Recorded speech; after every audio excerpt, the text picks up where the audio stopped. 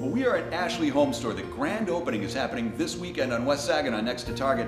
I'm with Ashley. Tell me about what's going on today. We're having a great cash machine today. Um, stop on out, see how many walk bucks that you can collect to spend in our store today. We're also having free food all day long from Zaytoon's as well as balloons, a magician, all kinds of fun things for you and your family to enjoy.